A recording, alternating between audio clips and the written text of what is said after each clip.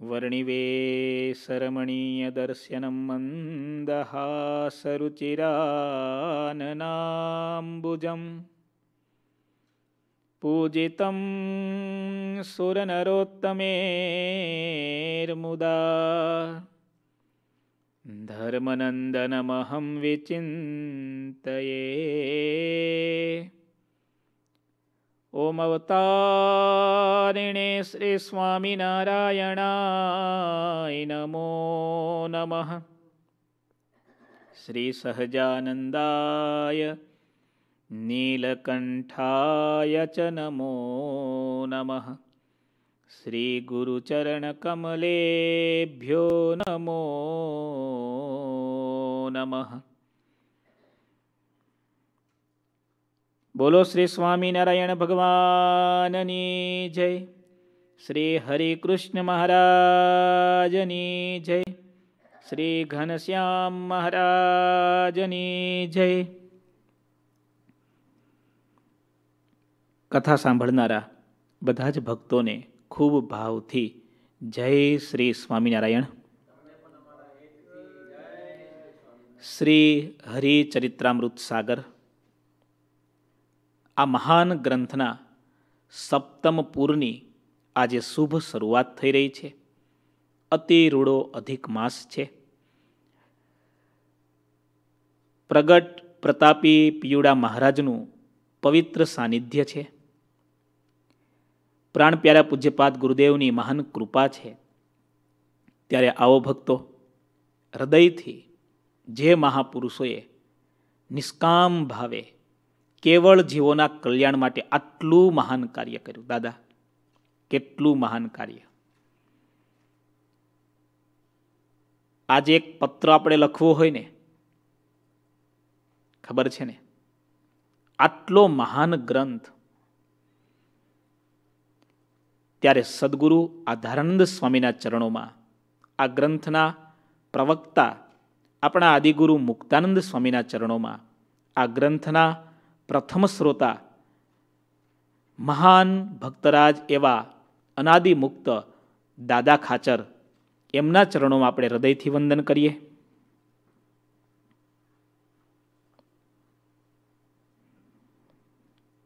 એમની કૃપા વિના આ ગ્રંથ ગાવો કે સાંભળવો એ શક્ય નથી.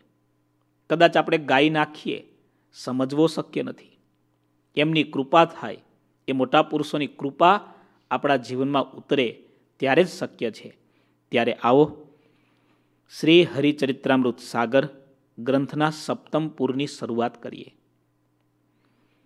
છઠ્ઠા પૂરમાં એકસો ને બે તરંગ આપણે શનિવારના દિવસે પૂરા કર્યા. ષષ્ઠમ પૂરમાં ભગવાન શ્રીહરિ કાઠિયાવાડમાં જે વિચરણ કરે છે એની કથા મુખ્યત્વે હતી. કરડામાં કરડી કોમ એટલે કાઠી. કાઠી કોમને ભગવાન શ્રીહરિએ કોમળ બનાવી, સત્સંગી કરી, એને સુધારી. પોતાના ઉપદેશ દ્વારા, પોતાના સાધુના વર્તન દ્વારા અને ભગવાન શ્રીહરિના ઐશ્વર્ય દ્વારા એ સુંદર કથા છઠ્ઠા પૂરમાં હતી સાતમા પૂરમાં ભગવાન શ્રીહરિ ગઢપુરમાં બિરાજમાન છે. વિચરણ કરતાં કરતાં મહારાજ આગળ કચ્છમાં જવાના છે. મુક્તાનંદ સ્વામીને ઝાલાવાડ મોકલશે. અસુરોનો મોટો ઉપદ્રવ થશે. ભગવાન સ્વામિનારાયણ પૃથ્વી ઉપર પ્રગટ હતા. ત્યારની અધર્મી લોકોની કેવી ઉપદ્રવી પ્રવૃત્તિ હતી એની કથા સાતમા પૂરમાં આવે છે. અને અંતે મહારાજ વિચરણ કરતાં કરતાં સિદ્ધપુરમાં આવે છે. સિદ્ધપુરને તીર્થત્વ બક્ષે છે. એને પાવન કરે છે અને પાવન કરી અમદાવાદ પધારશે. ત્યાં સુધીની કથા આ સાતમા પૂરમાં આપણે શ્રવણ કરીશું. આવો મહારાજના ચરણોમાં પ્રાર્થના કરી. હરિચરિત્રામૃત સાગર ગ્રંથ, પૂર સાતમું, તરંગ પહેલું. શ્રી સહજાનંદ સ્વામી કે महिमा को नहीं पार। जिमी चरित्र यह लिखत है, तिमी रहत अपार। श्री सहजानंद स्वामी के चरित्र महिमा को नहीं पार। झिमि चरित्र यह लिखत है, तिमी रहत अपार। Vinayji was asking to me is this book finished on Saturday अभी तो शुरू हुआ है is just beginning only Swami એમ લખે છે શ્રી સહજાનંદ સ્વામી ભગવાન શ્રીહરિ તેના મહિમાનો કોઈ પાર નથી આપણા શાસ્ત્રોમાં દ્રષ્ટાંત આપ્યું અસિત ગિરિસમમ સ્યાત કજ્જલમ સિંધુ પાત્રે કેવું દ્રષ્ટાંત આપ્યું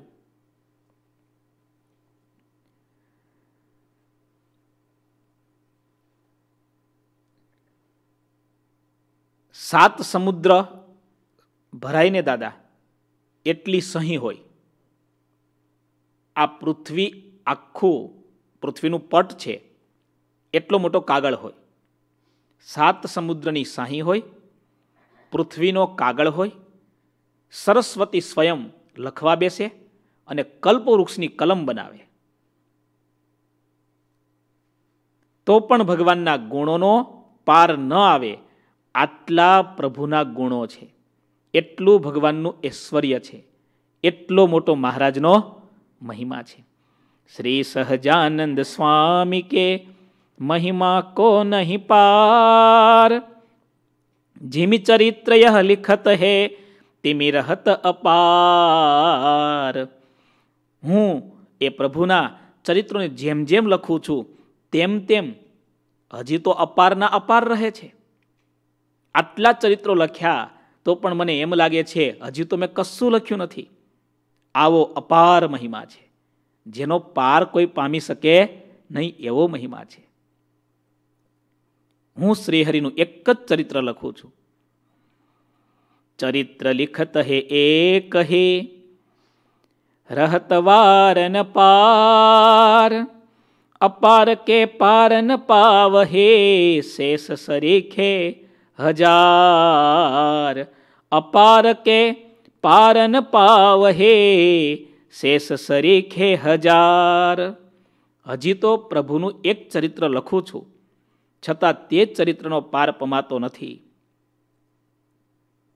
ભગવાન શ્રીહરિનું એક ચરિત્ર સંપૂર્ણપણે લખવું હોય તો એનો પણ પાર આવતો નથી. મહારાજે શું વાત કરી? કૃપા દ્રષ્ટિ કરીને કેવી રીતે જીવનું કલ્યાણ કર્યું? જ્યો સંતન કી બાત મેં, બાત બાત મેં બાત એની એક વાતમાં બીજી વાત સમાયેલી હોય, બીજી વાતમાં ત્રીજી વાત સમાયેલી હોય. ભગવાન શ્રીહરિ એવા અદ્ભુત ચરિત્રો કરે છે. સ્વામી એમ કહે છે ચરિત્રનો પણ પાર પમાતો નથી. તો બધા ચરિત્રનો તો પાર કેમ આવે? જે અપાર હોય, તેનો તો પાર કેમ પામી શકે? ભલેને શેષજી જેવા હજારો હોય, તો પણ એનો પાર ન પમાય. શ્રીહરિની મૂર્તિ અને તેમના ચરિત્રોને હું જ્યારે કહેવા લાગુ છું, ત્યારે શ્રીહરિ આ વખતે જ્યાં જ્યાં વિચર્યા છે. તે બધા જ ચરિત્રો મને દ્રષ્ટિ આગળ દેખાવા લાગે છે. મહારાજને સંભાળું છું ને, ત્યાં તો એ બધા ચરિત્રો મારી આંખની સામે દેખાવા લાગે છે. આનું જ નામ પ્રભુની કૃપા. ભગવાનની કૃપા વિના ભગવાનના ચરિત્રો સાંભળવા કે સમજવા કે ગાવા કે સાંભળવા શક્ય જ નથી. હરિચરિત્રામૃત સાગરની આ વાત ફરીવાર રિપીટ કરું. ચાર વસ્તુ. ભગવાનની મૂર્તિ, ભગવાનની આજ્ઞા, ભગવાનના ચરિત્ર અને ભગવાનની મૂર્તિનું ધ્યાન. ચાર રસ્તા જુદા છે. ચાર વસ્તુ જુદી છે. પણ ફળ ચારે ચારનું એક જ સરખું છે. તમને ચરિત્રમાં હેત થાય તો પણ અંતે મૂર્તિ સુધી જ પહોંચવાના. મૂર્તિમાં હેત થાય તો પણ મૂર્તિ સુધી જ પહોંચવાના. તમને ધ્યાન કરવામાં હેત થાય તો પણ મૂર્તિ સુધી પહોંચવાના. અને ભગવાનની આજ્ઞા ભગવાનને સંભાળીને પાળવામાં તાન જાગે તો પણ ભગવાન સુધી જ પહોંચવાના. આ ચારમાંથી એકાદ રસ્તા ઉપર આપણે રહેવું જરૂરી છે. બાકી મૂર્તિનો સંબંધ તૂટી જાય છે. એકડા વગર ગમે એટલા મીંડા તમે કરશો ને, એની કોઈ વેલ્યુ નથી. ખાલી આગળ એકડો મૂકી દો ને, તો એની વેલ્યુ વધતી જ જશે, વધતી જ જશે, વધતી જ જશે. મેં હમણાં જ વાત કરી હતી ને, માણસ માળા પાંચ કરે અને ચાળા પંચાણું કરે દાદા. તો એ માળા ઉગે ખરી. મંદિરમાં આપે પાંચસો રૂપિયાનું દાન અને હામે પાંચ લાખ કોઈકને પડાવી લીધા હોય. તો શું એનું દાન કલ્યાણ કરે ખરું? આપણી કંઈક પ્રવૃત્તિ આવી છે. પ્રવૃત્તિથી આપણે ભગત બન્યા છીએ. વૃત્તિથી ભગત બનવાનું છે. કેવી રીતે? વૃત્તિથી. આપણી વૃત્તિ ભક્તની બની જાય. આ બહુ જરૂરી છે. આંખની વૃત્તિ, કાનની વૃત્તિ ગમે ત્યાં જાય, આપણને તુરંત યાદ આવે. હું તો ભગવાનનો ભક્ત છું. આવા મોટા ગુરુદેવ એના ચરણોમાં હું બેઠો છું. મારાથી આવું વિચારાય, મારાથી આવું બોલાય, મારાથી આવું કરાય, મારાથી આવું જોવાય. આવો વિચાર થાય ને ત્યારે સમજવું, હવે ભગવાનનો સંબંધ થયો, મોટા પુરુષનો સંબંધ થયો. શ્રીહરિની મૂર્તિ અને તેમના ચરિત્રોને હું જ્યારે કહેવા લાગુ છું, ત્યારે શ્રીહરિ આ વખતે જ્યાં જ્યાં વિચર્યા છે તે બધા જ ચરિત્ર મને દ્રષ્ટિ આગળ દેખાવા લાગે છે. શ્રીહરિ હિમાલયથી લઈને પૂર્વ દેશ, દક્ષિણ દેશમાં વિચર્યા છે. પૂર્વ દેશમાં મુમુક્ષુ પુણ્યાત્માઓની સંભાળ લેવા જે વિચર્યા છે, તે બધા જ ચરિત્રો મને સ્ફુરી આવ્યા છે, દેખાવા લાગ્યા છે. જેમ તમે ટીવી ચાલુ કરો અને ટીવીમાં કોઈ પણ ઘટના તમારે જોવી હોય, તમારા લગ્નની પચાસ વર્ષ પહેલાંની સીડી ચાલુ કરો ને, તો પચાસ વર્ષ પહેલાંનો સમય ચાલુ થાય છે એમાં હા ત્યારના કપડાં, ત્યારની રીતભાતો, ત્યારની ભીખુ દાદા છે કે નહીં? મૂકી રાખી છે કે નહીં કેસેટ? ચાલુ થાય કે ના થાય? ભલે અત્યારે પ્લેનો ઉડે, પણ એ ગાડા દેખાય કે ના દેખાય? એવી રીતે સ્વામીએ કેવી સરસ વાત કરી. હું મહારાજને સંભાળું ને ત્યાં તો મહારાજની કૃપાથી બધા ચરિત્રો દેખાવા લાગે છે. શ્રીહરિ જગન્નાથપુરીથી લઈને દ્વારિકા સુધી વિચરણ કરતા રહ્યા. આમ શ્રીહરિ અસીમ કૃપા કરીને બધા જ મુમુક્ષુ જીવોને દર્શન આપવા વિચરતા હતા. શ્રીહરિએ વિચરણ કરતી વેળાએ જેનું અન્ન અને જળ સ્વીકાર્યું. સાગરના અણમોલ આ બધા મોતી છે. શ્રીહરિએ વિચરણ કરતી વેળાએ જેનું અન્ન અને જળ સ્વીકાર્યું. જેમની સામે કૃપા દ્રષ્ટિ કરી. તે બધા પવિત્ર મુમુક્ષુઓ સત્સંગમાં આવવા લાગ્યા. જોયું તમે? પુરુષોત્તમ પ્રકાશમાં નિષ્કુળાન સ્વામી શું લખ્યું છે? આજ લખ્યું છે ને.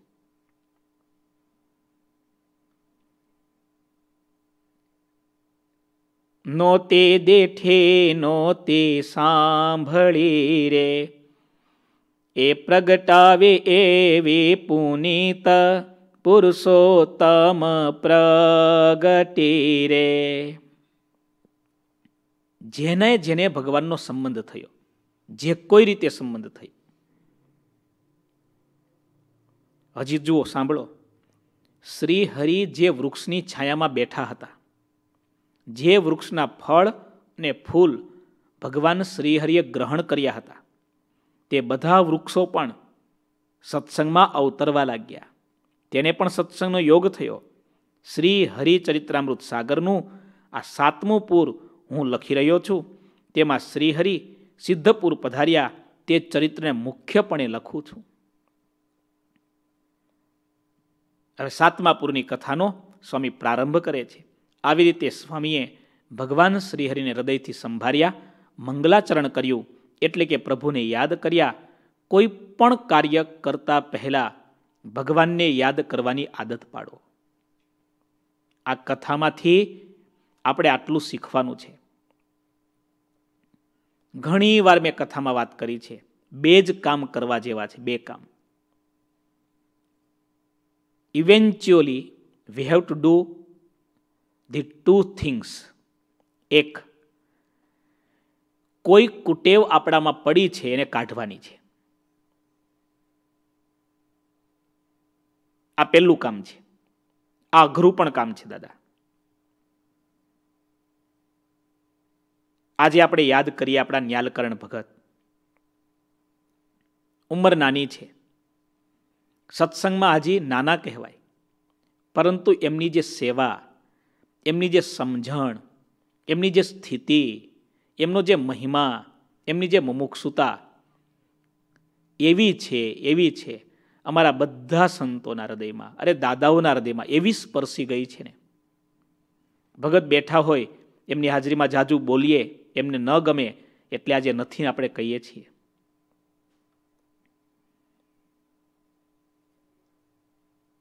એક એક સંતમાંથી ગુણ જોઈને એક એક સંતમાંથી સારું જોઈને એમણે એટલું બધું સારું ભેગું કર્યું છે, એટલું બધું સારું ભેગું કર્યું છે. કોઈ પણ સારી વાત એમણે જોઈ, સાંભળી, એક સેકન્ડમાં ચેન્જ કરી નાખે. પહેલું કામ એ કરવાનું છે, કોઈ પણ કુટેવ છે, એને કાઢવાની છે. અને બીજું કામ એ કરવાનું છે, સારી ટેવ જીવનમાં નાખવાની છે, પાડવાની છે. એ કઈ ટેવ? કોઈ પણ કામ કરતા પહેલા મહારાજને યાદ કરો.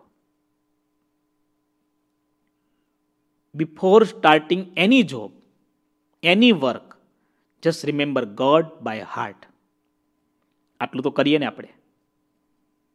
આ પહેલું પગલું છે. આમ કરવાથી એકવાર મહારાજ યાદ આવશે, પછી ધીરે ધીરે બે વાર, પછી ત્રણ વાર, પછી ચાર વાર, પછી પાંચ વાર ગુંદાસરા ગામના મૂળજી ભગત ભગવાનની મૂર્તિ સંભાળવા માટે એમણે પ્રતિજ્ઞા કરી કે હવે જમતા જમતા એક એક કોળીએ ભગવાનને યાદ કરીશ. અને જો ભગવાન ભૂલાઈ જાય, તો થોડી વાર તો ખબર જ ન પડે.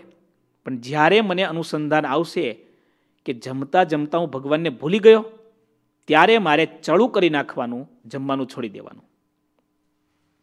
આવું નિયમ લીધું. હવે એક એક કોળીએ ભગવાનને સંભાળવા કેટલું કપરું કામ છે? અને દાદા ભૂલાઈ જાય ને એ યાદ નથી આવતું.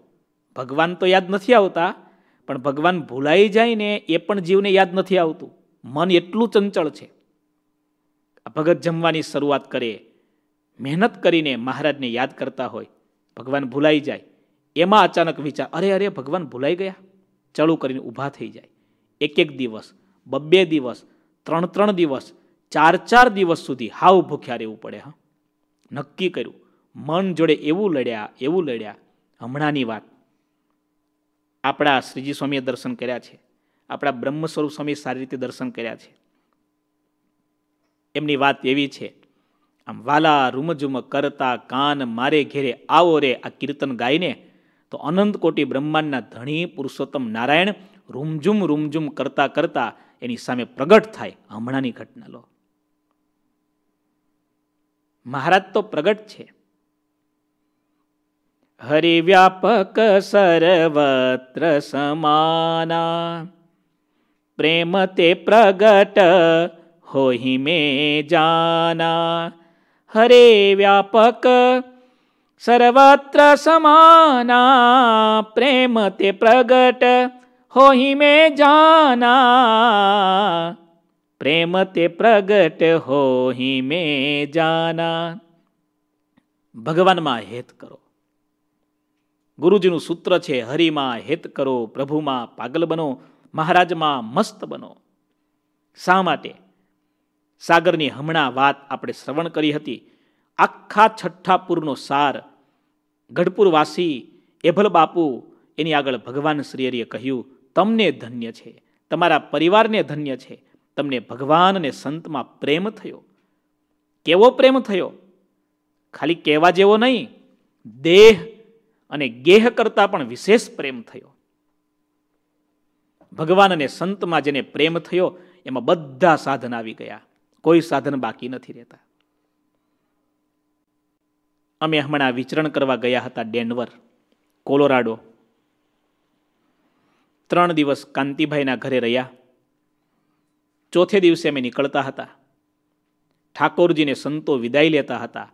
કાંતિભાઈ એમનો આખો પરિવાર જે ચોધાર આંસુએ રડતો હતો ને, પોક મૂકીને રડતા હતા, હા. એવું રડતા હતા, આપણને એમ થાય એ તો રડતા હતા. એમનો પરિવાર રડતો હતો. અમેરિકન બોન એમનો દીકરો કેયુર આ દ્રશ્ય જોઈને એ પણ રડવા લાગ્યો. એમના ભાઈ નટુભાઈ એ પણ રડવા લાગ્યા. આપણી આંખમાં પ્રેમ છે ને એની નિશાની છે આંસુ. રામકૃષ્ણ પરમહંસ એમ કહેતા, જેની આંખમાં આંસુનો ખજાનો નથી, એ ક્યારેય ઈશ્વરને ખરીદી નથી શકતો. ભગવાનને ખરીદવા માટેના બીજા કોઈ સાધનો કામ નથી લાગવાના. આપણા હૃદયનો સાચો પ્રેમ અને પ્રેમ ક્યારે પ્રગટ થાય છે? પ્રેમ જ્યારે પ્રગટ થાય ને, આંસુ દ્વારા વહે છે દાદા. પ્રેમાનંદ સ્વામી એટલું બધું રડ્યા છે. એમ કહેવાય, કોઈ દિવસ, કોઈ રાત એવી નથી વીતી, પ્રેમ સખી પ્રેમાનંદ રડ્યા ન હોય. અરે મીરાબાઈના આંસુથી તો દ્વારિકાનો આખો દરિયો ભરાઈ ગયો, એવું કહેવાય. મીરા એટલી રડી છે, એટલી રડી છે. દ્વારિકાનો દરિયો આજે પણ સાક્ષી પૂરે છે, એ મીરાના આંસુ એમાં ટપક્યા છે. દરિયો છલકાયો છે, આટલી રડી મીરા. પણ ફેર એટલો હતો એના આંસુમાં આનંદ છુપાયેલો હતો. એના આંસુ ભગવાન માટેના હતા. દુનિયા માટે તો આંસુ ઘણા પાડ્યા. ભગવાન માટે ક્યારેક આપણે આંસુ પાડ્યા છે. તપાસ કરીએ. પ્રેમની ખાલી વાતો જ કરશું.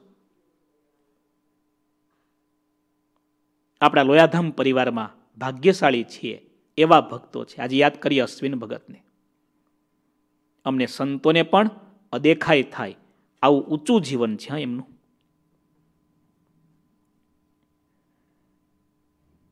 મહારાજને વધારેમાં વધારે ગમતું પાત્ર ગોપીનું. ગુરુજીએ ઇન્ડિયામાં વર્ષો પહેલાં એક કથામાં વાત કરી હતી. આ ગોપીની કથા કરવી સહેલી વાત છે, પણ આવી ગોપી જોવી હોય ને, તો અમેરિકાના અશ્વિન ભગતનું ગોપી જેવું જીવન છે. ગોપી જેવો ભગવાનમાં પ્રેમ છે. ગમે ત્યારે મહારાજને, ગુરુજીને સંતોને મળતા હોય અને છૂટા પડવાનું થાય ને ત્યારે માણસ એવું રડે એવું રડે એવું રડે. એકવાર તો જોનાર એના હૃદય હચમચી જાય. આનું નામ છે પ્રેમ. જગતના મવાલી માણસોની પાછળ મરનારા, જૂજનારા, રડનારા બહુ છે. પત્ની ભાગી જાય તો રડતા હોય, ચોરી થઈ જાય તો રડતા હોય, કોઈ મુંડન કરી જાય તો રડતા હોય આવું તો બહુ જ ચાલે છે જગતમાં. આવા રડનારા તો એટલા બધા છે, વાત જ ના પૂછો. ભગવાનને યાદ કરીને આપણી આંખો ભીની થાય, આપણું હૃદય ભીનું થાય, આનું જ નામ પ્રેમ છે. લાગી લાગી સબ કહે, લાગી હોય સો રોય મીરાબાઈ કહ્યું ને. આ લગની લાગી બધા બોલે છે લાગી લાગી સબ કહે, લાગી હોય સો રોય. મીરાબાઈ એમ કહે છે કે આ પ્રેમની લગ્ની તો એવી છે, એકવાર લાગે ને એ પછી હસે નહીં એ તો રડે. અરે મીરાબાઈ, કેવું પદ લખ્યું વિચારો. કેવું પદ?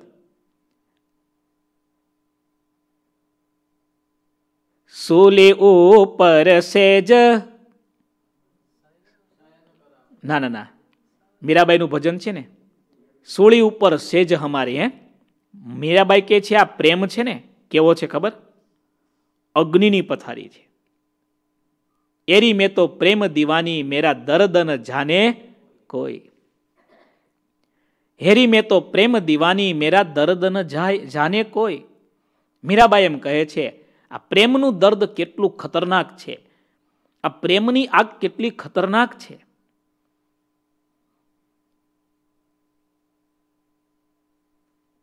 પણ એ મીરાનો પ્રેમ એવો હતો ને. ઉપરથી આંસુ હતા, પણ અંદર ભગવાન શ્રી કૃષ્ણ પ્રભુનો પ્રેમ છલકાતો હતો. મેં તમને વારંવાર વાત કરી હતી, સંયોગમાં પ્રેમનો જન્મ થાય છે, વિયોગમાં પ્રેમ પરિપક્વ બને છે. તમે ભેગા થાવ હસો સ્માઇલ કરે, ચાર મિલે, ચોસઠ ખીલે, વીસ રહે કર જોરી, ભક્ત સે ભક્ત મિલે, પુલકિત સાત કરોડી આ બધી વાત સંયોગની છે. પણ છૂટા પડે ને, ત્યારે પ્રેમ પરિપક્વ બને છે. કાચી કેરી હોય ને ખાવા લાયક ન હોય, પણ કેરી પાકી જાય ને, પછી એની કિંમત વધે, એનો રંગ બદલે, એની સુગંધ બદલે, બસ એવી જ રીતે આપણો પ્રેમ કાચો તો ઘણો બધો છે, પણ પરિપક્વ પ્રેમ ભગવાનને સંત આપણને યાદ આવે. કેવી અદ્ભુત વાત. હરિચરિત્રામૃત સાગર છઠ્ઠા પૂરની સમાપ્તિમાં આપણે શ્રવણ કરી. યાદ રાખીએ, આપણે પણ મહારાજમાં, સંતોમાં, મહારાજના એકાંતિક ભક્તોમાં હવે પ્રેમ કરતા શીખીએ, પ્રેમ વધારતા શીખીએ. સપ્તમપુરની શરૂઆત થાય છે. આધારાનંદ સ્વામી લખે છે, દરબાર એભલ ખાચરના દરબારમાં શ્રીહરિ સ્થાયી નિવાસ કરીને રહ્યા. તેમના ઘરબારને પોતાના માન્યા.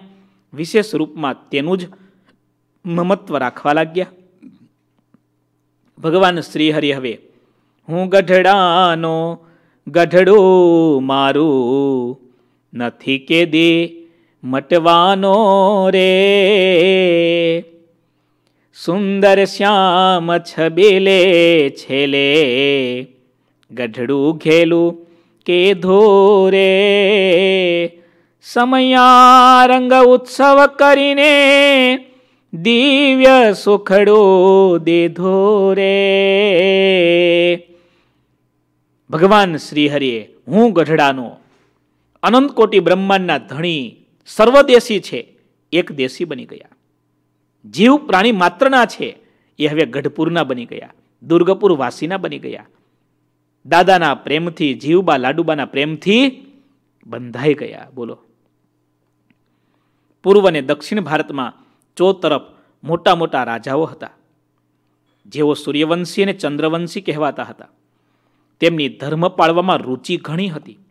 તે રાજાઓ જ્યારે પોતાનું રાજ્ય શ્રીહરિને આપવા લાગ્યા, ત્યારે તે વાત સાંભળીને શ્રીહરિ તો ત્યાંથી ભાગ્યા. જેના એક રોમકૂપમાં અનંત અક્ષરો, અનંત બ્રહ્માંડો સમાઈ જતા હોય, તે શ્રીહરિ ક્યાંય ન રોકાયા. રાજાઓ, મહારાજાઓ, એની અઢળક મિલકત, એની દોમ દોમ સાહિબી અને સંપત્તિ એમાં શ્રીહરિ ન બંધાણા. વચનામૃત ગ્રંથ. વડતાલનું વચનામૃત સોળમું. મહારાજને કહ્યું, મહારાજ, તમે મોટા મોટા માણસને જો સત્સંગ કરાવો ને તો સમાસ થાય, ડેવલપમેન્ટ થાય, વિકાસ થાય. ભગવાન શ્રીહરિએ કહ્યું, અમારે અને આ જગતમાં કહેવાતા મોટા માણસોને ક્યારેય બને એમ નથી. કારણ કે એને ધન અને સંપત્તિ એનો નશો હોય છે.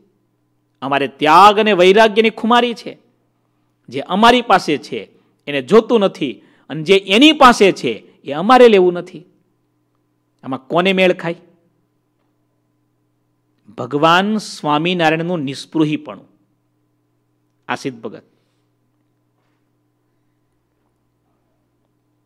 એના ઉપર એટલું બધું સાહિત્યકારોએ લખ્યું છે. એટલું બધું. ગાયકવાડ સયાજીરાવ મહારાજા જેવા મહારાજા એ સમયના ગુજરાતના કિંગ ગણાય. આવો મોટો રાજા ભગવાનને આમંત્રણ આપે. કેટલું ભવ્ય સ્વાગત, કેટલી મોટી ભેટ. એહી ભુવન સંપતિ તુમ્હારી. મહારાજને આખો લક્ષ્મી વિલાસ પેલેસ રહેવા માટે આપ્યો હતો. પ્રાર્થના કરી તમે રોકાઈ જાઓ. શ્રીજી મહારાજ એકવાર ગયા તે ગયા, ત્યાંથી નીકળીને પાછા ગયા. ફરીવાર મહારાજે ક્યારેય પણ સયાજી રાવને કે એની સંપત્તિને કે એની મિલકતની જિંદગીમાં યાદ કરી નથી. ઉલટાનું સંતો ભક્તો યાદ કરાવ્યું ત્યારે મહારાજે ઘસીને કહી દીધું, અમારે અને એવા રજોગુણી માણસને ક્યારેય બનવાનું નથી. અને આપણે તો શું કરીએ? એકવાર ગયા હોય ને તો દસ વર્ષનું ગોઠવી દે દાદા. કે હવે દર વર્ષે ફિક્સ રાખજો, હા, આગા પાછા ના થતા ખીલો ખોડીને આવીએ બરાબર ટાઈટ કરીને.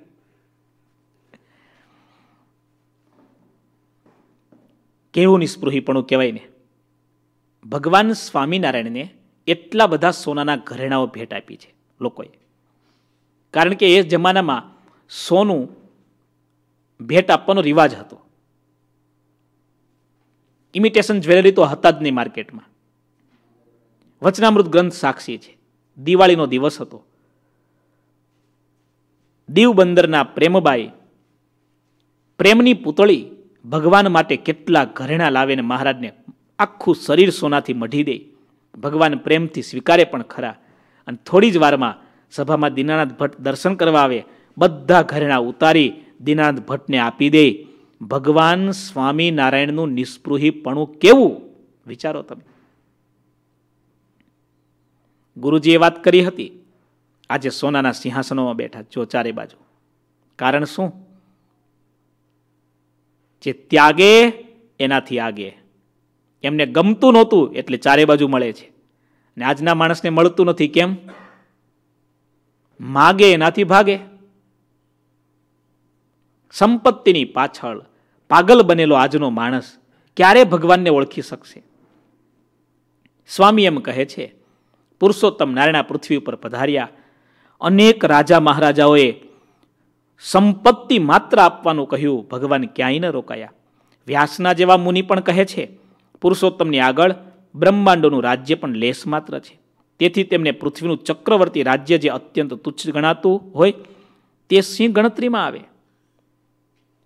સારંગપુરનું વચનામૃત પહેલું, ભગવાનના એક રોમના કરોડમાં ભાગના સુખની આગળ ભગવાનના એક રોમના કરોડમાં ભાગના સુખની આગળ અનંત કોટી બ્રહ્માંડનું સુખ મૂકવામાં આવે તો પણ એ તુચ્છ થઈ જાય આટલું મહાન સુખ ભગવાનની મૂર્તિમાં છે.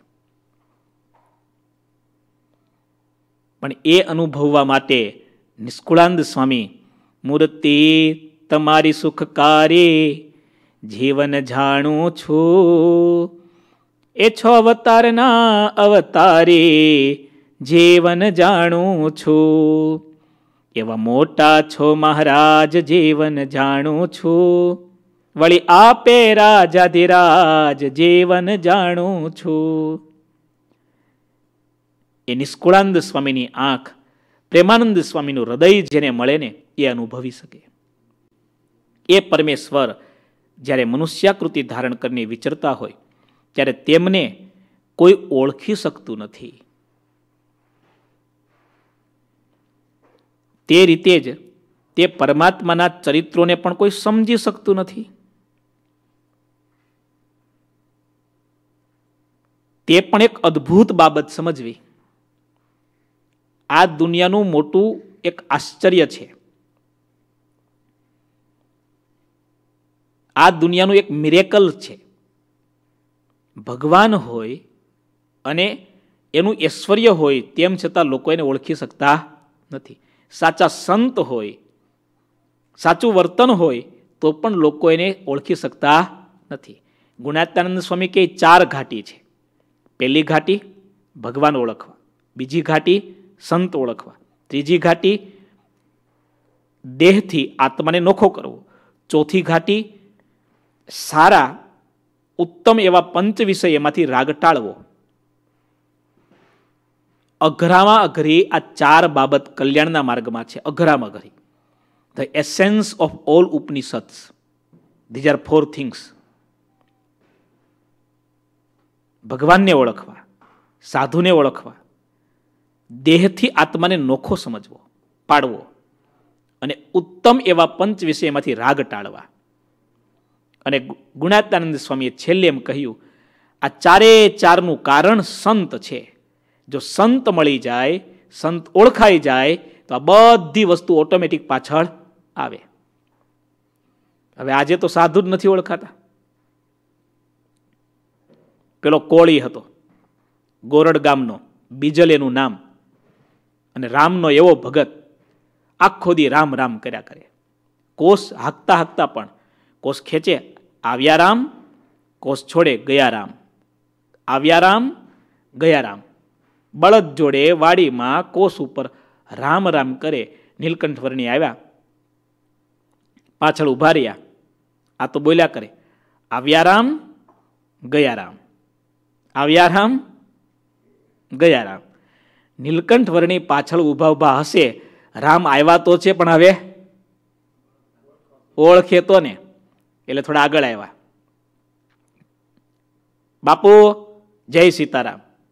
ભાઈ થોડું પાણી આપો ને એમને. આટલું બધું પાણી જાય છે આખો ધોરિયો વહે છે. પી લો અહીંથી. પાણીની ક્યાં કમી છે? નીલકંઠ વર્ણીએ કહ્યું કે, ભાઈ, અમે સાધુ મહાત્મા છીએ. આ પાણી અમે ન પીએ. કેમ? મારો બળદ પીવે, હું પીવું તમને શું વાંધો? જુઓ, નીલકંઠ વર્ણીએ કહ્યું આ તારો કોષ એ ચામડું છે. ચામડામાંથી આવેલું પાણી છે. અળગણ છે. ગાળ્યા વિનાનું છે. એટલે અપવિત્ર કહેવાય. અમારાથી ન પીવાય. હવે આટલો બધો ઠઠ્ઠારો હતો સાધુ શું કામ થયા? હવે આ મોટો વક્તા થયો લો પાછો. નીલકંઠ વર્ણી મુંજાય. રામ હામે ઊભા છે પણ ઓળખે. પણ મુમુક્ષુ હતો ને એટલે મહારાજને થોડો એને પરચો બતાવો હતો બહુ ટ્રાય કરી પણ સેવા ન કરી. આ પાછો એવો ભગત હોય ને એ પાછો જડ પણ એટલો જ હોય દાદા. એ બ્રહ્માંડ ફરે પણ એનું મગજ ન ફરે. એટલે નીલકંઠ વર્ણિકને થયું કે હવે આમ તો પાણી નહીં આપે. નજીક આવ્યા? મહારાજ કે મેં કુવા, કૂવામાંથી લઈ લો. કૂવામાં એટલું ઊંડું પાણી હતું. કેમ લેવા લેશે નીલકંઠ વર્ણી? એટલે નીલકંઠ વર્ણી આમ કમંડળું કર્યું. કૂવાના તળિયે રહેલું પાણી આખે આખું બહાર આવ્યું, ઉપર આવ્યું. ત્યાં ગરણું મહારાજે મૂક્યું, ગરણામાંથી એમ કમંડળું ભર્યું પણ આ દ્રશ્યને જોયું અને બીજલની આંખો ફાટી ગઈ, હા. કોષ એક બાજુ મૂકી દોડ્યો દોડ્યો, તમે તો કોઈ ચમત્કારી મહાપુરુષ ભગવાન જેવા લાગો છો. નીલકંઠ વર્ણીએ ફટોફટ પાણી પીધું અને પવન વેગે ઉપડ્યા. પેલો બીજલ બૂમો પાડતો રહ્યો. નીલકંઠ વર્ણી નીકળી ગયા અને પાછું વળી એટલું કીધું, અમારી આ મૂર્તિને યાદ રાખજે, સંભાળજે, એમાં પણ તારું સારું થશે. કહેવાનું શું? જો આ પરચો ન બતાવ્યો હોત તો? આ તો મહારાજને દયા આવી ગઈ. બાકી કેટલી મહારાજે મહેનત કરી, બોલો? થોડી અમારી સેવા કરી દે, તારું સારું થાય, બોલો. વન વિચરણમાં મહારાજ હતા. એક બાવાજી, પડખું ફરે, હે રામ, એમ બોલે. પડખું ફરે, હે રામ. એ ચોરામાં, આશ્રમમાં નીલકંઠફર્ણી રોકાયેલા. ત્યાં બાવાજી, હે રામ, એવું બોલે ને નિલકંઠફર્ણી બેઠા થયા. મહાત્માજી, ક્યાં બાત છે બોલો. અરે, મેને કબ તુમકો પૂછા? अरे आपने अभी तो सोते सोते नहीं कहा हे राम अरे तुम राम हो सो जाओ ખીજાણા નીલકંઠવાણી સુઈ ગયા ફરીવાર બાબાજી યાદ કર્યા હે રામ ભગત રામના બહુ પાક્કા હતા અન નીલકંઠવાણી ફરીવાર હોંકારો દીધો લાકડી લઈને પાછળ પડ્યો બોલો સમજો છો ને ભગવાન પ્રગટ હોય એને ઓળખવાને એ અતિ અઘરા છે એટલું જ નહીં, ભગવાનના એકાંતિક સંત પ્રગટ હોય ને એને ઓળખવાને એ પણ બહુ કપરું કામ છે. ગોપાળાનંદ સ્વામી, સાધુ થતા પહેલા ખુશાલ ભટ્ટ મહારાજને મળે, ગઢપુર આવે, ભગવાન સ્વામિનારાયણને વાંચવા માટે મહાભારતના પુસ્તકની જરૂર હતી. અને આ ગ્રંથ એટલો બધો દુર્લભ, એ જમાનામાં આજના જેવા પ્રિન્ટિંગ પ્રેસો નહોતા કોઈ પણ ગ્રંથ અવેલેબલ હોય. મહાભારતનું પુસ્તક ભાવનગરમાં એક કોઈક વ્યક્તિ પાસે હતું. મહારાજે કોઈ પણ કિંમત આપીને પુસ્તક જો આપતા હોય, તો જાવ લઈ આવો. લખીરામને મોકલ્યા. લખીરામ આવ્યા. નક્કી પણ થયું. કે આટલી કિંમતમાં આ પુસ્તક આપશે. ભગવાનને જરૂર છે, તમને પૈસા મળશે. તમને તો બીજું ગ્રંથ ગમે ત્યાંથી મળી રહેશે. એકવાર વાંચવું છે મહારાજને. પણ આ બ્રાહ્મણ ફરી ગયો. કોઈ પણ કારણસર. અને મહારાજે બે ત્રણ હરિભક્તોને બે ત્રણ વાર મોકલ્યા, પણ માને જ નહીં. અને એ વાત નીકળી અને એ સમયમાં ખુશાલ ભટ્ટ, એટલે કે ગોપાળાનંદ સ્વામી, ભવિષ્યમાં જે થયા એ, ત્યાં આવ્યા. મહારાજે કહ્યું ખુશાલભાઈ તમે કામ કરશો. શું? જાઓ ને તમે તો સમર્થ છો. પરચો બતાવીને આ ગ્રંથ કઢાવો, જાઓ. એટલે લખીરામની સાથે ભાવનગર મોકલ્યા. સ્વામી આવ્યા. પેલાને સમજાવ્યું, પણ એ માન્યો નહીં. અપમાન કરી દીધું. ગમે તેવા શબ્દો બોલ્યો. બહુ સારો ભક્ત હતો, પવિત્ર હતો, ઠાકોરજીની સેવા કરતો હતો. તે સ્વામીએ પરચો કેવો પૂર્યો ખબર? ઠાકોરજીનો અભિષેક કરે ને ઠાકોરજીની મૂર્તિ આખી ગોળ ફરી જાય. સ્વામી બાજુ મોઢું કરી દે. ઠાકોરજીને ખેંચીને પાછું આમ કરી દે. પાછી મૂર્તિ ફરી ગઈ. પાછું આમ કર્યું. પાછું મૂર્તિ ફરી ગઈ. ત્રણ વાર મૂર્તિ ફરી ગઈ ને તે ગોપાળાનંદ સ્વામીને એવો ખીજાવા લાગ્યો. આટલું બધું ઐશ્વર્ય સ્વામીએ બતાવ્યું. આ ઐશ્વર્ય જ કહેવાય ને. અપમાન કરીને કાઢી મૂક્યા. અને શ્રી કૃષ્ણ શરણમમાં શ્રી કૃષ્ણ શરણ કરીને ભગવાનની સેવા પૂજા કરીને ભગવાનને પધરાવ્યા ને સાંજે સુવા ગયો. સ્વામીને થયું, લાતો કે ભૂત?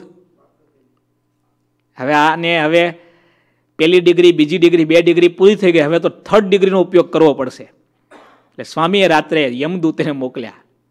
કાળા ડિબાંગ યમુના દૂતો શસ્ત્ર અસ્ત્ર લઈને હાથમાં આવ્યા અને જોતાની સાથે આના ઝાડા પેશાબ તો પહેલા છૂટી જ ગયા. બૂમો પાડવા લાગ્યો. કોણ છો તમે? છોડી દો મને, બચાવો મને. એમના દૂતોએ કહ્યું, તે પૈસા લેવાની સ્વીકૃતિ આપી હતી. મહાભારતનું પુસ્તક આપવાની હા પાડી હતી. ફરી કેમ ગયો? એક તો ખોટું કર્યું બીજું ખોટું બોલ્યો અને ત્રીજું પેલા સંત પૂજામાં આવે છે અને પૂજા દરમિયાન સાધુના આવા તોછડા શબ્દથી અપમાન કરે છે. તારી પૂજા ભગવાન નથી સ્વીકારવાના. અમે યમદૂતો છીએ. યમપુરીમાં નાખીને આ દશા તારી થવાની છે. એવી માફી માગવા. મને છોડી દો, મને છોડી દો. પેલું પુસ્તક આપીશ, અત્યારે આપી દઉં. તમે કહો તો જઈને આપી આવું, પણ છોડી દો. વહેલી સવારે જાગી, સ્વામીને શોધીને બોલાવ્યા અને સામેથી ગ્રંથ આપ્યો પછી. બોલો, ઓળખાય? સાધુ ઓળખાય? અઘરું છે. સંત ઓળખવા ઘરા છે. ભગવાનના ભક્ત ઓળખવા ઘરા છે. સાંભળો, બહુ સ્વામી અદ્ભુત વાત લખે છે મનુષ્યાકૃતિ ધરી રહેલા પરમેશ્વરને વાસ્તવમાં ઓળખવા એ અનંત આશ્ચર્યમાંનું એક આશ્ચર્ય છે. One of the best miracle in the world to realise God to realise godly persons આપણે ભાગ્યશાળી, આપણને એવા મોટા સંત મળ્યા છે, એને આપણે ઓળખીએ છીએ. આ પીવડા મહારાજ પ્રગટ મળ્યા છે, એને આપણે ઓળખીએ છીએ. આપણા સંતો કેટલી પ્રેમથી સેવા કરે છે, કેટલી પ્રેમથી. તમે જુઓ છો ને, મહિમાથી. જે સ્વયં મનુષ્ય થઈને પરમાત્માની દેશી કાઢે છે, સ્વયં પોતાને પરમાત્મા કહેવડાવે છે, તે સૌથી અધિક પાપી છે. એમ જાણવું. એવા બનાવટી પરમાત્માના જે શિષ્ય બને છે, તે મરીને યમપુરીમાં જાય છે, ધર્મરાજા એવા પાપીનું મોઢું જોવા ઈચ્છતા નથી, તેવાને તો કૃતજ્ઞપણા રૂપ પાપ કરનારા માટે જે નરકના કુંડ બનાવ્યા છે, તે નરકના કુંડમાં નાખે છે. પહેલેથી તે નરક કુંડમાં રહેલા કૃતજ્ઞીઓ આવા મિથ્યા ભગવાન અને તેના શિષ્યોને જોઈને કંપી ઉઠે છે. અને તેને પોતાના કરતાં પણ વધારે પાપી જાણે છે. કેમ જે તેઓ કષ્ટમાં પણ કોટી ગણું અધિક કષ્ટ પામે છે અને ત્રાહી ત્રાહી પુકારે છે. જે લોકો મનુષ્યને ભગવાન કરી દઈને તેને માને છે. સાંભળજો આ કળિયુગનો મોટામાં મોટો રોગ. જે લોકો મનુષ્યને ભગવાન કરી દઈને માને છે અને પૂજે છે, તેવા લોકો લોઢાના પર્વત થાય છે. આ મોટા પહાડની અંદર આયરન હોય છે, ખબર છે ને તમને? એ આયરન કાઢે પછી ભારતના વૈજ્ઞાનિક જગદીશચંદ્ર બોઝ એણે સંશોધન કર્યું. આખી દુનિયાએ સ્વીકાર્યું, પથ્થરમાં પણ આત્મા છે. ફૂલ છોડમાં પણ આત્મા છે. વચનામૃતમાં મહારાજ એમ કહે, તેનો જીવ નાશ પામે છે જે ભગવાનને સંતનો અવગુણ અભાવને દ્રોહ કરે છે. કેવી રીતે નાશ પામે છે? આત્મા તો અવિનાશી છે, નાશ પામતો જ નથી. પણ એના આત્માને ભગવાન પર્વતના શરીરમાં મૂકે છે. હજારો, લાખો લાખો વર્ષ સુધી આ પૃથ્વી ઉપર તાપ, વરસાદ, ત્રાસ સહન કરે છે અને એવો થાકે છે, એવો થાકે છે, એવો થાકે છે. આવો દંડ ભગવાન સંતનો દ્રોહ કરનારો જે દ્રોહી હોય ને એને આપે છે. અને બીજા કોને આપે છે? જેવા ઢોંગી, પાખંડી, ધુતારા હોય ને, કહેવાય છે ને દંભી ગુરુ લાલચુ ચેલા દોનો નરક મેં ઠેલમ ઠેલા. જ્યાં ઢોંગી માણસો હોય ને ત્યાં ધૂતારા ક્યારેય ભૂખે મરે નહીં. ડોંગરેજી મહારાજ એક સરસ વાત કરે શ્રીમદ ભાગવતમાં દસમ સ્કંદની કથામાં કે કળિયુગમાં બધા જ પાપ થવાના, કળિયુગમાં બધા જ દોષ આવવાના, પણ કળિયુગમાં મોટામાં મોટો દોષ છે દંભ. કયો દાદા? એટલે કે માણસ કરશે ખરાબ કામ, પણ ઉપરથી સારા દેખાવા પ્રયત્ન હંમેશા કરશે. આ દંભ કળિયુગમાં એટલો ફેલાશે એટલો ફેલાશે. આ ચારે બાજુ તમે જુઓ તો શું એ જ છે ને? કળિયુગ એટલે શું? મેં ઘણી વાર વાત કરી છે ને. કળિયુગ એટલે સાચાનો શિકાર થાય. સાચાનો શિકાર થાય અને ખોટાનો સ્વીકાર થાય. એનું જ નામ કળિયુગ. સાહેબ, કળિયુગ છે. અહીં સાચાનો શિકાર થાય છે, સત્યનો સ્વીકાર થાય છે અને અસત્યનો સ્વીકાર થાય છે. કળિયુગ એટલે શું? સાચા હોય એ મૂંઝાતા હોય અને ખોટા હોય એ પૂંજાતા હોય. સત્ય એવા ભગવાનને ન સ્વીકારવા આ પહેલી ભૂલ છે અને અસત્યને સત્ય માન્ય સ્વીકારવું એ એના કરતાં મોટી ભૂલ છે. કળિયુગના માણસો બે ભૂલ કરે છે. સાચી વાત કે ખોટી વાત? નિર્મલ બાબા જેવા પાખંડી, દંભી માણસોનો દરબાર ભરાય છે. લોકો હજારો રૂપિયા આપીને ટિકિટ લઈને ત્યાં જાય છે. બાબા કી કૃપા કબ ઉતરના શરૂ હોગી? તે પર્વતમાં જેટલો લોઢાનો ભાગ છે તે પેલા મિથ્યા ભગવાન હોય એ છે. અને જેટલો પાષાણનો ભાગ છે તે બધા એના શિષ્ય થાય છે. આવી રીતે લોઢાનો પહાડ બનાવે અને ગુરુ ચેલા ભગવાનના ભક્ત બેયને ભગવાન એમાં નાખે અને કરોડો વર્ષો સુધી ત્યાં રીબાઈ હેરાન થાય, આવો મોટો દંડ આપે છે. અને નકલી ભગવાન કહેવાતો મનુષ્ય શસ્ત્ર બનીને શિષ્યના પ્રાણોનું હરણ કરે છે. આ બાબતને ભગવાનના જે સાચા સંતો હોય તે પ્રત્યક્ષ રૂપમાં દેખે છે. અને જે પુરુષોત્તમ શ્રીહરિ અક્ષરધામથી સાક્ષાત પધારે છે, તેમની રીત તો કંઈક જુદી છે. જેને બધા વેદો અને પુરાણો ગૌરવથી ગાય છે. ભવ બ્રહ્માદિક દેવ, સ્તવન કરે સો બેર બેર. કરત ચરણ તેહી સેવ, નિજ કે કારણ જાની કર. ભવ બ્રહ્માદિક દેવો પણ અક્ષરાધિપતિ શ્રીહરિને પોતાનું કારણ સમજીને વારંવાર સ્તુતિ કરે છે, વંદન કરે છે, તેમના ચરણોની સેવા કરે છે.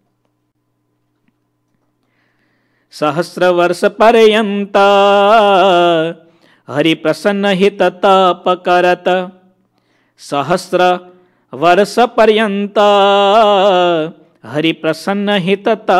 કરત તબ હરિદેહ ધરંતા મનુષ્ય મેં દિવ્ય હોય દરસ દેત મનુષ્ય મેં દિવ્ય હોય દરસ દેત ભગવાન શ્રીહરિને પ્રસન્ન કરવા માટે ભવબ્રહ્માદિક દેવો હજાર વર્ષ સુધી તપ કરે છે, ત્યારે પ્રભુ ભૂલોકમાં દેહ ધારે છે, મનુષ્ય રૂપમાં પધારે છે અને પોતાનું દિવ્ય દર્શન બધાને આપે છે. ભગવાનની પ્રાપ્તિ આટલી દુર્લભ છે. ગુણાતાનંદ સ્વામીની એક વાત યાદ રાખીએ. સ્વામી એમ બોલ્યા, ઘેટા, બકરા, ગાયો, ભેંસો વાડામાં પુરાય, સિંહ કે વાઘ વાડામાં ન પુરાય, એવી રીતે ખોટા ખોટો હોય ને, જે વ્યક્તિ ખોટો હોય, અથવા એનો આશય ખોટો હોય, અથવા એની શ્રદ્ધા ખોટી હોય, અથવા એનું કંઈક કર્મ ખોટું હોય, એવો વ્યક્તિ જ ખોટામાં ફસાય. જે સાચો મુમુક્ષુ હોય ને, એ ક્યારેય ખોટામાં ફસાતો નથી, ક્યારેય ખોટામાં ફસાતો નથી. અમે જોયા છે. એવા એવા સારા સારા મુમુક્ષુ અત્યારે છે ને એટલી મોટી મોટી માયામાંથી પસાર થઈને નીકળ્યા હોય છે ને, આપણે ખોટામાં ફસાયા એટલે ખોટા વ્યક્તિને દોષ દેવા કરતા આપણે ક્યાં ખોટા છીએ સુધારી નાખીએ તો જલ્દી કામ પતી જાય. આજે કળિયુગમાં આવું છે. બે ખોટા હોય, પણ બે એકાબીજાને ખોટા સાબિત કરવામાં આખી જિંદગી લડે. હોય બે ખોટા. અસત્યનો ત્યાગ કરવો એક જ નિર્ણય શાસ્ત્રમાં આપ્યો છે. ખબર પડે આ ખોટું છે, છોડી દો. એ આપણામાં હોય કે બીજામાં હોય? એની ટીકા કરવી, એને દંડ આપવો, એ આપણો નિર્ણય નથી, એ ભગવાનનો નિર્ણય છે. ભગવાનની પ્રાપ્તિ તો બહુ દુર્લભ છે. દેવતાઓ હજારો વર્ષ સુધી તપ કરે ત્યારે ભગવાન મનુષ્યાકારે પૃથ્વી ઉપર પ્રગટ થાય છે. જે અક્ષરાધિપતિ પુરુષોત્તમ શ્રી કૃષ્ણ છે, તેમનામાં જ અનંત આકૃતિઓ રહી છે. જ્યાં જેવું કાર્ય કરવું હોય ત્યાં દિવ્ય રૂપે રહ્યા થકા શરીર ધારણ કરે છે, તે મહાપ્રભુ ધામના મુક્તોને સાથે લાવે છે અને તે મુક્તોને અન્ય મનુષ્યનો પ્રસંગ થાય છે. તે મહામુક્તોના પ્રસંગથી અન્ય મુમુક્ષુઓને અક્ષરાધિપતિ, પુરુષોત્તમનો નિશ્ચય થાય છે અને તેમનું સ્વરૂપ ઓળખાય છે. કારણ કે પ્રસંગ સિવાય તે કોઈને પણ તે બાબતની કંઈ ખબર પડતી નથી. એટલી સરસ દાદા વાત આવે છે ને. ઉતાવળથી વાંચવી એ મજા નહીં આવે. અક્ષરધામમાં સભા ભરાણી ગોપાળાનંદ સ્વામીએ મહારાજને કહ્યું, મહારાજ, આ સામેનું બ્રહ્માંડ દેખાય છે ને, તૂટલું બ્રહ્માંડ. એમ આપ ક્યારેય નથી પધાર્યા. ત્યાંના વિરાટ નારાયણે ઓગણપચાસ વર્ષ સુધી પ્રાર્થના કરી છે. પ્રભુ, દયા કરો. સિફારિશ કરી. મેસેન્જર છે ને, સંત એ મેસેન્જર છે. વિરાટ નારાયણનો સંદેશ ગોપાળાનંદ સ્વામીએ અક્ષરાધિપતિ પુરુષોત્તમ નારાયણને કહ્યો, મહારાજે કહ્યું, સ્વામી, અમે જઈએ, પણ અમારી એક શરત છે. તમારે અમારી સાથે આવવું પડે. આ સંતોએ આવવું પડે. સંતોને, પરમહંસોને લઈને મહારાજ પૃથ્વી ઉપર પ્રગટ થયા. કારણ શું? આમાં વાત આવી, જુઓ. તે ભગવાન જ્યારે પૃથ્વી ઉપર પ્રગટ થાય છે, ત્યારે પોતાના મુક્તોને સાથે લાવે છે. બીજા મનુષ્યોને એ મુક્તોનો પ્રસંગ થાય એટલે યોગ થાય, એનો સત્સંગ કરે, એનો સમાગમ કરે, ત્યાર પછી એ મુક્તોને જેમ ભગવાન ઓળખાણા છે, એમ એ જીવોને પણ ભગવાન ઓળખાય છે. પ્રસંગ વિના ક્યારેય પણ ભગવાન ઓળખાતા નથી. પૂજ્યપાદ ગુરુજીનું સૂત્ર છે, મને મળ્યા જે મહારાજ, એ સામેવાળા જીવને આપવા છે, એ જ મિશન છે. આ ભગવાન સ્વામિનારાયણનું મિશન, અક્ષરધામમાંથી શરૂ થયેલું મિશન ગોપાળાનંદ સ્વામીને ગુણાત્યાનંદ સ્વામીએ શરૂ કરેલું મિશન. પૂજ્યપાદ ગુરુદેવ જેવા અનેક બ્રહ્મનિષ્ઠ સદગુરુ સંતો આ મિશનને લઈને અત્યારે વિચરણ કરી રહ્યા છે. ત્યારે આની વાત આપણે આવતીકાલે સાગરની એટલી સુંદર મજાની આ વાત છે. ઉતાવળથી વાંચીશ તો ભક્તો મજા નહીં આવે, સમજાશે પણ અધૂરું. આપણે થોડું સાંભળીએ, પણ સમજીને સાંભળીએ, વિચારીને સાંભળીએ તો ઘણું કામ લાગશે. એકવીસ ચોપાઈ સુધીની કથા આપણે રાખીશું. ત્યાંથી આગળની કથા આવતીકાલ. બોલો ઘનશ્યામ મહારાજની જય. શ્રીપતિમ શ્રીધરમ સર્વદેવેશ્વરમ ભક્તિધર્માત્મજમ વાસુદેવમ હરે. માધવમ કેશવમ કામદમ કારણમ સ્વામિનારાયણમ. નીલકંઠમ ભજે.